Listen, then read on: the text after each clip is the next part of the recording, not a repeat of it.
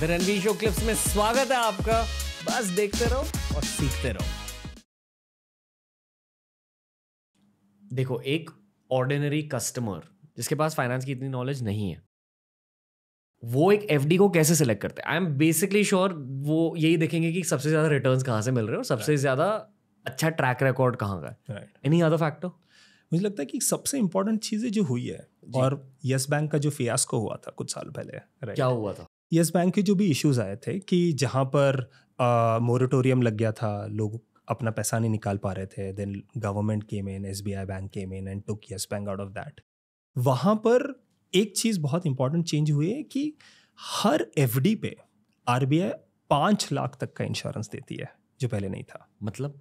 आप अगर किसी भी बैंक में एफ़ डी करते हो जी। राइट उस बैंक में जब पाँच लाख तक का पैसा is insured by the government of India by R right इसका मतलब ये है कि अगर उस बैंक के साथ कभी भी कुछ भी हो जाए राइट वो पाँच लाख आपके हंड्रेड परसेंट सेफ़ है, वो आपको मिलेंगे। मैं एक एग्ज़ाम्पल बताता हूँ, ये आज से तीन महीने पहले की बात है। औरंगाबाद में एक बैंक डूबी है जो मैं बचपन से जिस, जो मैंने देखी है and all of that right and मैं पेरेंट्स का सारा पैसा वहाँ पर है। But because of the R B I insurance और उन्होंने जैसे जैसे डिवाइड कर रखा था most of that money they will get back right so R B I insurance एक बहुत इंपॉर्टेंट चीज़ है समझने के लिए लोगों को, जो आज अपने बैंक में या छोटे मोटे बैंक में कि यार मैं इस ब्रांच मैनेजर को जानता हूँ या इन लोगों को जानता हूँ और वहाँ पे पंद्रह, बीस, पच्चीस, तीस लाख रुपए तक का पैसा रख रहा है, वो काफ़ी रिस्की है। बिकॉज़ अगर कभी कुछ बैंक के साथ कुछ हो जाए, आपको सिर्फ़ पाँच लाख मिलेंगे। राइट सो इसीलिए diversification along with the highest interest rate एक सबसे इंपॉर्टेंट चीज़ है। मतलब पचास लाख एफडी में नहीं डालने चाहिए। पचास लाख एफडी में डालने चाहिए बट एक बैंक में नहीं डालने चाहिए। डिवाइड कर दो। अलग अलग। एफ़ में। अलग अलग एफ़ में एफ़ में रिटर्न रेट रफली सेम होती है? बहुत वेरी करता है। कुछ बैंक्स छः परसेंट देते हैं कुछ बैंक्स नौ परसेंट देते हैं। राइट सो ये काफ़ी वेरिएशन आपको मिलेगा। अब सबसे इंपॉर्टेंट सवाल है कि वो जो नौ परसेंट वाले बैंक हैं, अगर मेरा मानना ये है कि अगर पाँच लाख तक का इंश्योरेंस आरबीआई हर बैंक में देता है तो बैंक का नाम एक्स हो या बैंक का नाम वाई हो, इससे फ़र्क नहीं पड़ता। हाईएस्ट इंटरेस्ट रेट जो दे रहा है, वो बैंक सबसे अच्छा है, पाँच लाख तक का एफडी करने के लिए राइट अब वो जो हाईएस्ट इंटरेस्ट रेट दे रहा है बैंक वो ढूँढने का टास्क इज़ दो से तीन हफ़्ते का काम राइट वो हम सिंप्लीफाई कर रहे हैं कि हम बोल रहे हैं कि हमारे ऐप पर आपको 200 बैंक के रेट्स मिलेंगे।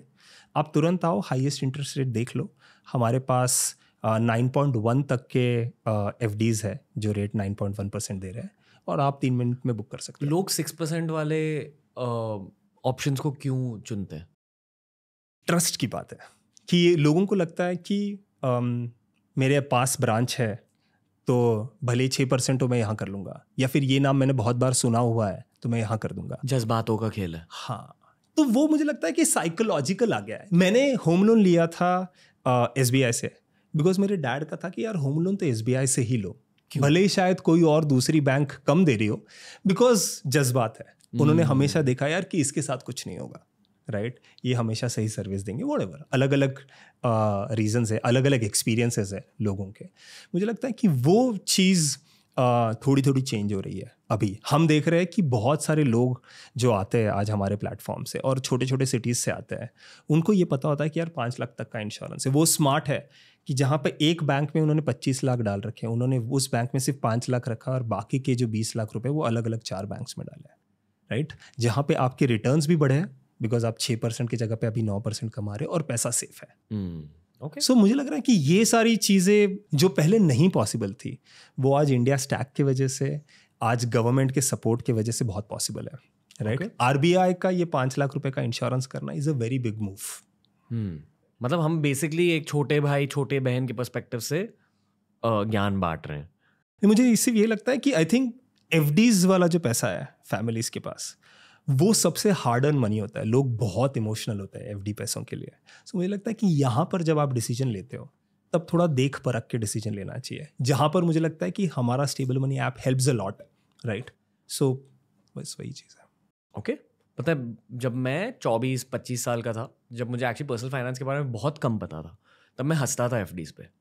शायद एज के साथ पता चला मुझे उसका महत्व। लोग लोगों की मेंटालिटी ऐसे क्यों है?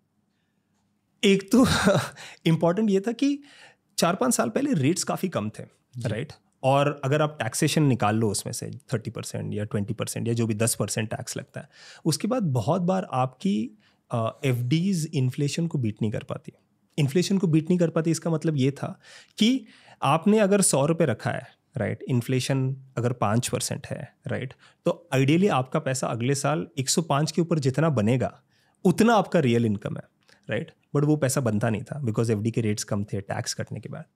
क्योंकि लोगों के पास एक्सेस नहीं था जो banks higher FDs interested दे रहे हैं। एक्सेस बस वही था कि यार मेरे दो किलोमीटर के वेसिनिटी पे कौन सी ब्रांच है, मैं वहाँ जाके एफ़ करूँगा। आज लोगों के पास एक्सेस है कि वो इंडिया के किसी भी बैंक में एफडी घर बैठे कर सकते हैं राइट right? तो मुझे लगता है कि ये एक चेंज आया है जो पहले नहीं था। दूसरा, बहुत बीच में आई थिंक लोगों ने यूट्यूब पे और अलग अलग जगहों पर बोला है कि एफडी अच्छी नहीं है। Right but F D has pass that time of test कि यार हमेशा F D is that safer asset that you should always rely on I think with this vision we are thinking कि यार ये product जो India का सबसे favourite asset class है इसको चेंज करना है। ये एज के साथ पता चलता है कि सेफ़ एसेट्स बहुत ज़रूरी होती है लाइफ में। जब यंग होते हो you don't look at life that way right coming back to the start of the podcast वही है रिस्क है तो इश्क है वाली मेंटालिटी एट सम पॉइंट वो शेड ऑफ़ करनी पड़ती है। Yeah. uh, और मैं खुद उससे गया हूँ टू बी वेरी ऑनेस्ट आज जो बोल रहा हूँ मेरा खुद का पर्सनल एक्सपीरियंस है कि मैं सोचता कि यार मॉम डैड को कि आप एफ़ में क्यों रख रहे हो पैसा? नाउ टुडे आई रियलाइज़ अगर आपको ये क्लिप अच्छा लगा तो ऐसे ही हज़ार क्लिप्स अपलोड किए गए इस चैनल पर बस देखते जाओ और सीखते जाओ।